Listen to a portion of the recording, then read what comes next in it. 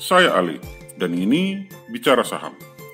Kali ini kita akan membahas kondisi fundamental dari salah satu emiten di sektor batubara yang selama bulan November terus mengalami kenaikan harga. Dibuka pada harga 1950 per lembar saham pada tanggal 2 November dan ditutup pada harga 2360 per lembar saham pada tanggal 30 November 2020. Kenaikan harga dari saham emiten ini adalah sebesar Rp410 per lembar saham atau 21 persen. Lalu bagaimana sih sebenarnya kondisi fundamental daripada emiten ini? berdasarkan hasil kajian dari tim riset Ali Bicara. Yuk kita cari tahu.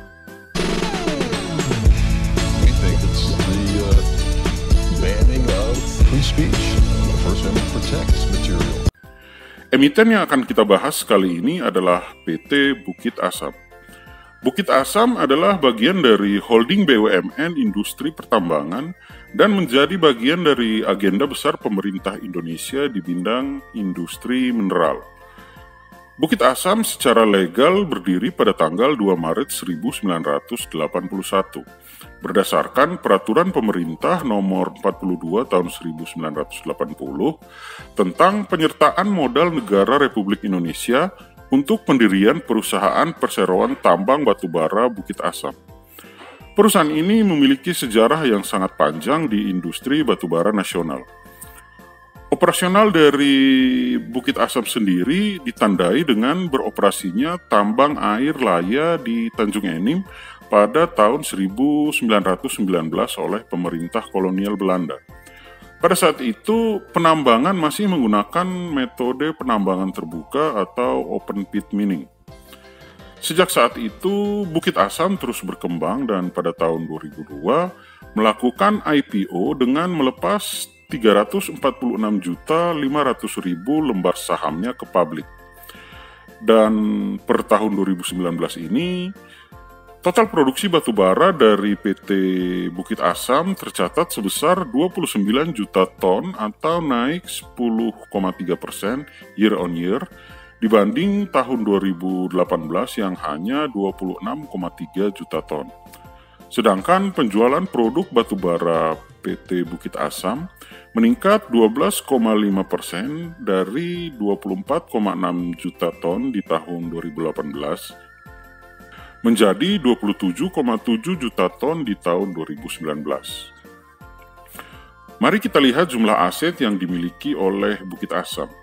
Dari data yang telah dikumpulkan oleh tim riset Ale Bicara, aset dari Bukit Asam sebesar 24,5 triliun per laporan keuangan kuartal ketiga tahun 2020 yang terdiri atas 16,5 triliun ekuitas dan 7,9 triliun liabilitas.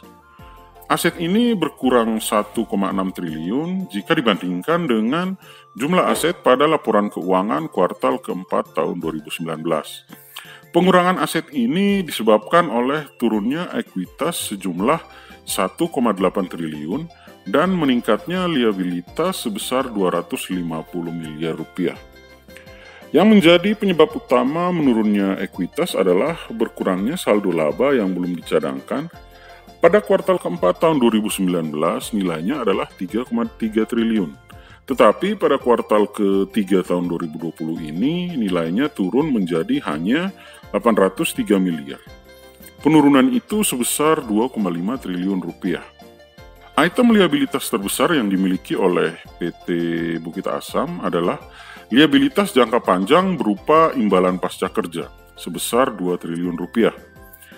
Bukit Asam memberikan imbalan pasca kerja seperti uang penghargaan, santunan kematian, penghargaan pengabdian, dan uang pisah.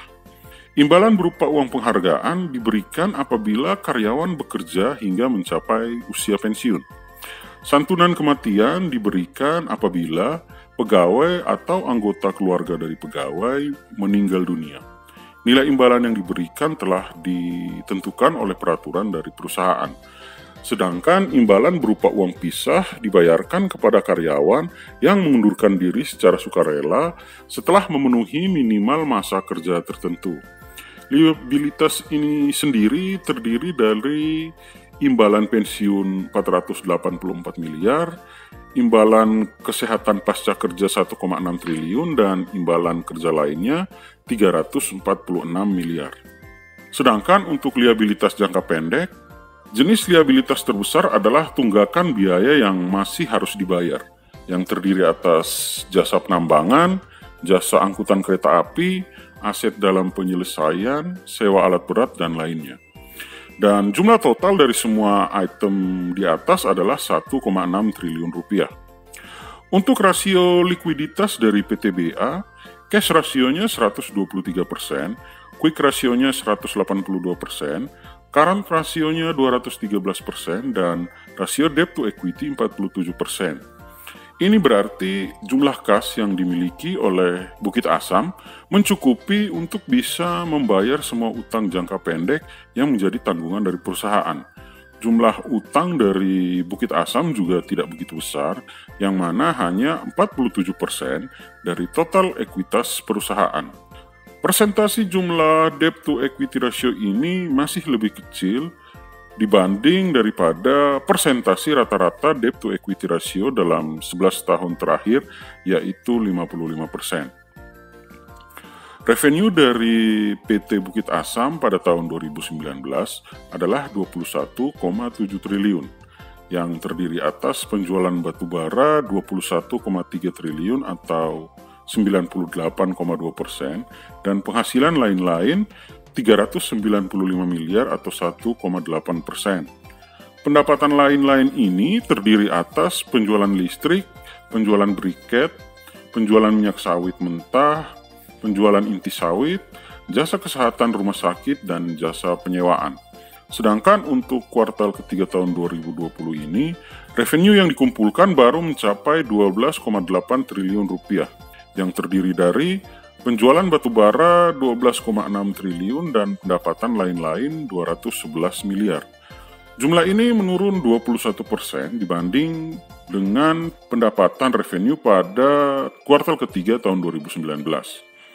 Sehingga proyeksi revenue untuk tahun 2020 ini hanya 17 triliun rupiah. Lebih rendah 22% persen dari revenue di tahun 2019 Potensi penurunan revenue ini adalah sebesar 4,6 triliun rupiah. Pada kuartal ketiga tahun 2020 ini, laba bersih dari Bukit Asam baru mencapai 1,7 triliun atau terkoreksi 44,3 persen atau 1,3 triliun rupiah dibanding laba bersih yang dihasilkan oleh Bukit Asam pada kuartal ketiga tahun 2019 Hal ini disebabkan karena pendapatan yang menurun, penghasilan lain yang merugi, dan meningkatnya li liabilitas imbalan pasca kerja.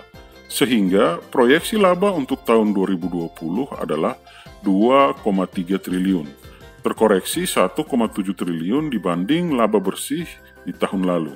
Ini adalah penurunan laba beruntun sejak tahun 2019 dan pada tahun ini penurunan laba itu meningkat menjadi 43 persen. Untuk value dari PTBA sendiri per akhir kuartal ketiga tahun 2020, ekuitasnya adalah 16,5 triliun rupiah. Harga sahamnya 1.970 rupiah per lembar saham. Nilai bukunya atau book value adalah 1.482 rupiah per lembar saham. Sehingga nilai price to book value adalah 1,3. Dengan laba per saham sebesar Rp205, maka nilai price to earning ratio adalah 9,5. Besaran laba per saham tadi menghasilkan net profit margin 23,7 persen, return on equity 30,8 persen, return on asset 22,8 persen. Berbicara mengenai dividen, Bukit Asam sering membagi keuntungan berupa dividen kepada para pemegang saham. Pada bulan Juni tahun 2020 ini, Bukit Asam baru membagi dividen sebesar Rp326,46 per lembar saham. Dan jumlah laba yang dibagikan dalam bentuk dividen itu adalah sebesar 3,6 triliun rupiah. Kesimpulan Pertama, aset dari perusahaan ini cenderung mengalami peningkatan kecuali untuk tahun 2013 dan tahun 2020 ini. Yang perlu kita perhatikan adalah yang menjadi penopang utama dari aset PTBA adalah ekuitasnya. Kedua, proyeksi revenue di tahun ini berkurang 22%. Ini merupakan proyeksi berdasarkan revenue sampai dengan kuartal ketiga. Kita masih bisa optimis karena ada sentimen positif berupa meningkatnya harga batu bara termal dan ditandatanganinya pembelian batu bara dalam jumlah yang besar oleh Tiongkok. Ketiga, proyeksi laba bersih tahun ini terkoreksi 43% dibanding laba bersih tahun 2019 dan ini adalah penurunan beruntun selama dua tahun berturut-turut. Karena laba bersih tahun 2019 juga mengalami penurunan dibanding laba bersih tahun 2018. Keempat, jumlah utang dari Bukit Asam masih tergolong kecil dibanding dengan jumlah ekuitasnya. Totalnya hanya 47% dibanding total ekuitas yang dimiliki. Dan debt to equity ratio ini masih di bawah debt to equity ratio rata-rata 11 tahun terakhir yang mana sebesar 55%. Kelima, untuk tahun ini investasi ke Bukit Asam sangat menarik. Alasannya karena walaupun ada penurunan laba bersih dalam dua tahun terakhir ini, tetapi margin laba bersih dari Bukit Asam cukup tinggi yaitu 23%. Dan jika kita lihat dari pergerakan harga saham sebulan terakhir, Harga saham PTBA sedang uptrend. Untuk CEO yang penggemar trading bisa memanfaatkan momentum ini. Keenam, Bukit Asam termasuk emiten yang sering membagi dividen. Untuk tahun ini, dividen telah dibagi pada bulan Juli sebanyak 90% dari keuntungan perusahaan di tahun yang lalu. Tetapi karena laba bersih di tahun ini kemungkinan akan berkurang drastis, maka bagi CEO pemburu dividen untuk tidak terlalu berharap jumlah dividen yang tinggi untuk tahun depan. Ketujuh, untuk harga dari emiten ini termasuk under value dengan price book value 1,3 dan price earning ratio 9,5. Adaro Energi yang satu sektor dengan PTBA di sektor batu bara memiliki price book value 0,63 dengan price earning ratio 17. Mana yang lebih menarik untuk dikoleksi? Silahkan SEO pertimbangkan menggunakan data yang telah dianalisa di sini. Pendapat saya, PT Bukit Asam adalah perusahaan yang bagus dan tim riset dari Ale Bicara memberi rating untuk PT Bukit Asam AA. SEO Demikianlah review singkat dari PT Bukit Asam. Review ini bertujuan memberi pertimbangan dalam melakukan investasi. Silahkan like, share, dan subscribe untuk selalu mendapatkan update review saham lainnya.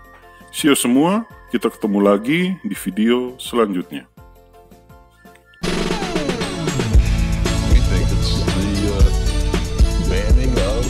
Uh, banning of free speech, the First Amendment protects material